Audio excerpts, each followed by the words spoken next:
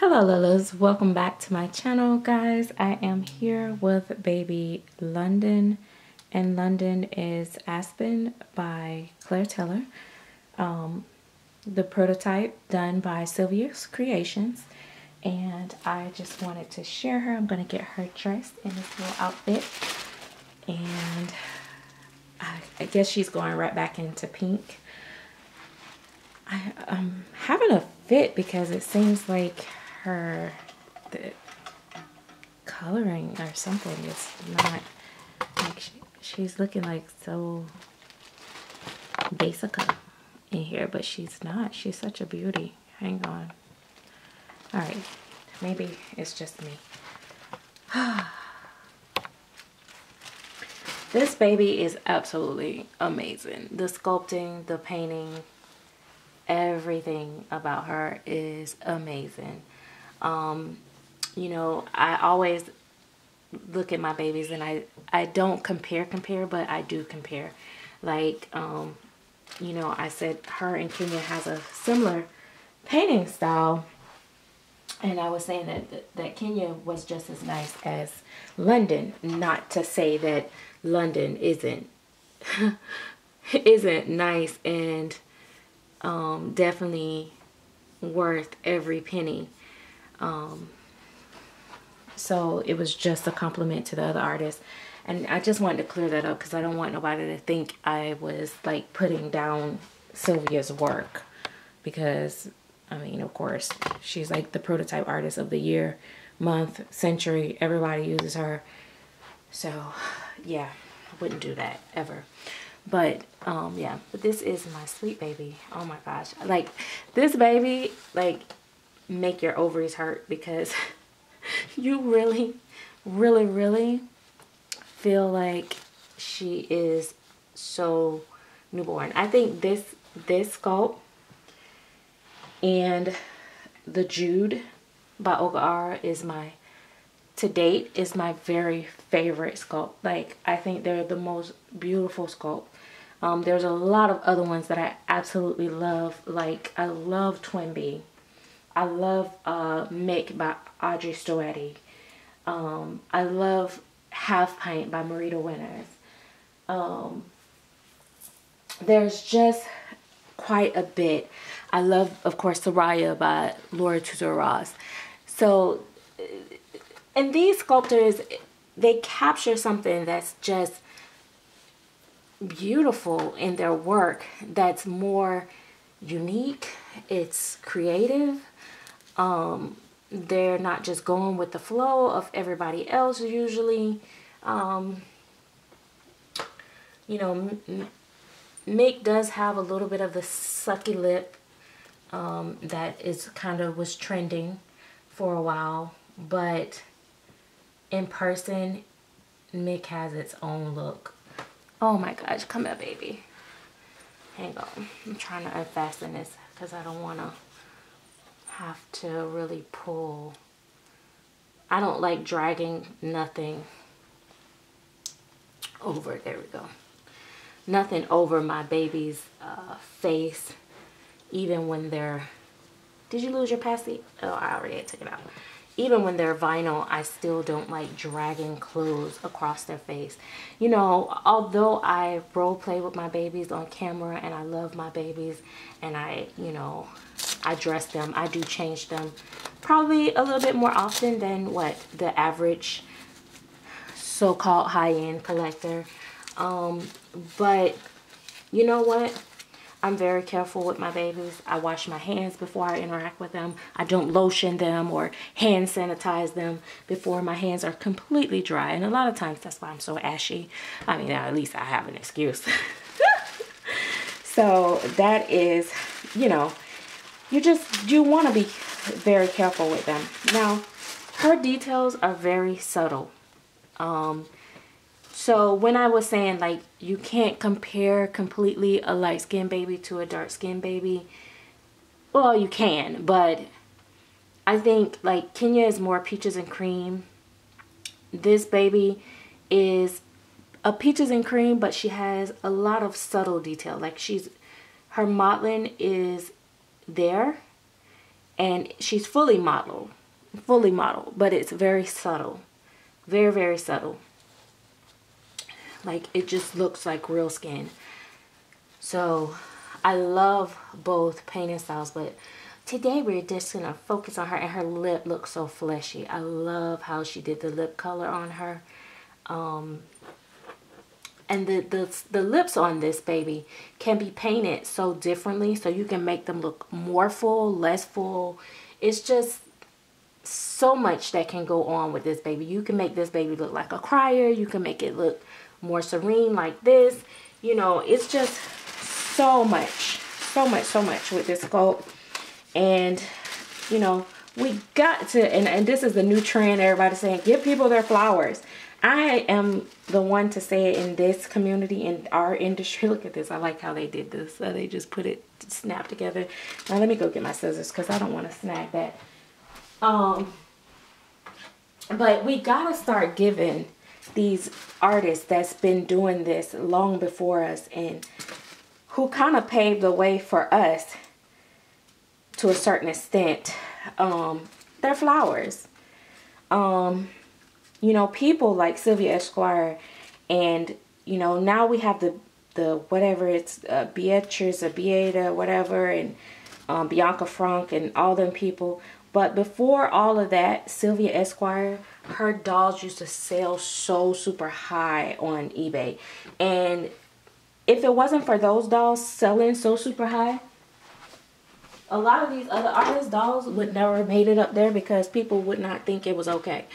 You know what I'm saying? It's like, so, and even from that, and also just the photography and everything that they put into their work, um, really, really deserves to be acknowledged. Um, there's a level to this type painting that not just anyone can reach. Um, it's so subtle, but so lifelike. Some people do subtle, but the baby is just like blah.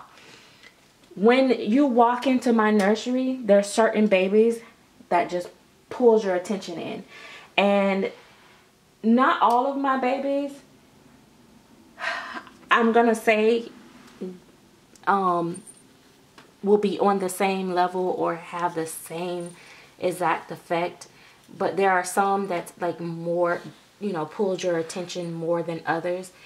And um, I, I just I love it. And I, I just I love seeing the, the art and other people perspectives of kids you know?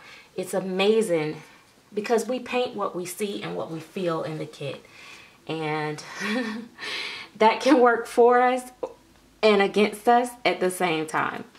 Um, because you know, sometimes what we see may not be the most favorable and it will come out in your painting.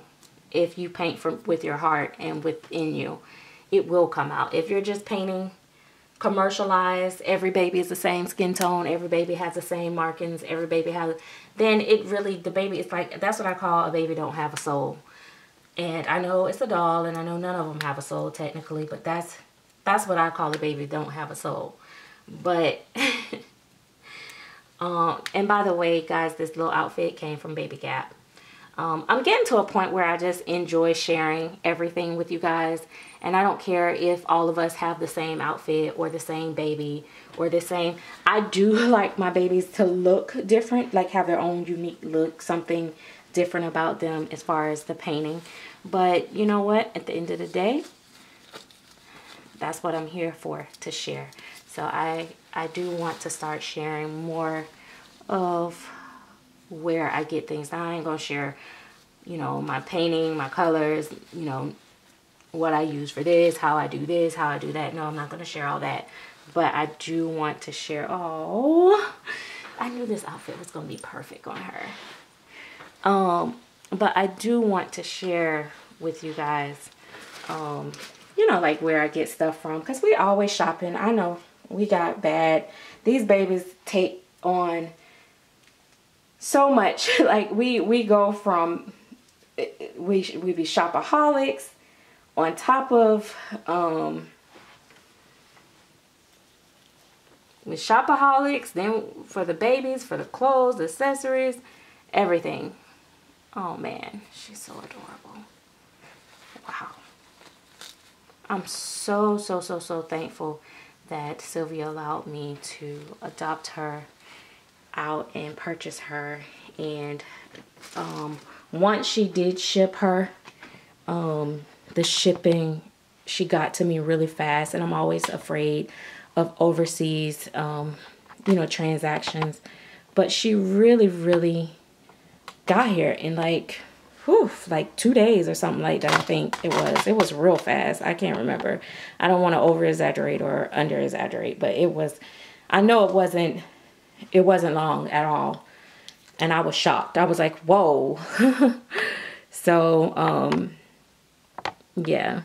But she is just amazing. And this video is not doing her any justice but i'm when the sun comes all the way out i will take more pictures of her and put her on instagram for you guys to see. And her little binky seems to go with everything. I love this little blush pink binky. I think it just really suits her skin tone and it just matches her all the time what i put her on but yeah this this this kit is amazing. Claire Taylor really sculpted this baby beautifully. And then, you know, you know, we have the the Alex and the Ashby has the same limbs and it's just beautiful the the bone structure and stuff in the the legs and everything the the feet everything and you guys know as much as I ooh and ah over other dolls and I love everything at the end of the day, I am still a die-hard Claire Taylor fan. She is still absolutely my most favorite sculptor when it comes to silicone and painting. And um, I absolutely don't think she fell short on these kits. I really don't. I, I, I mean, it's just something about the sculpting. And I know she shouldn't be wearing these type shoes but I feel like she should have something on her feet. so I'm just gonna put her booties back on. Um, she just looks so real. It's like, I don't want her feet to be cold. but yeah, I just, you know, she could have probably even used this pacifier if I wanted to. If I didn't want, yeah. See, because she, she, she has a open mouth. So she takes a modified pacifier. So I could put her on, you know, the same pacifier that I use for Andrew. Oh my gosh. so funny. It's like I I I guess because I got a little dizzy like I looked like I seen her little chest move. I was like, okay, now it's time to shut the camera off and go get some help.